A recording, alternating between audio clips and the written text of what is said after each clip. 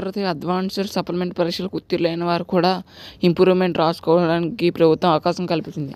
Pass అయిన తమకు తక్కువ మార్కులు వచ్చాయని భావించే విద్యార్థులు మరిన్ని మార్కులు సాధించుకోవడానికి పరీక్షలు రాయొచ్చని రెండింటిలో ఏవి ఎక్కువ మార్కులు వస్తే వాటిని పరిగణలోకి తీసుకోమని చెప్పారు.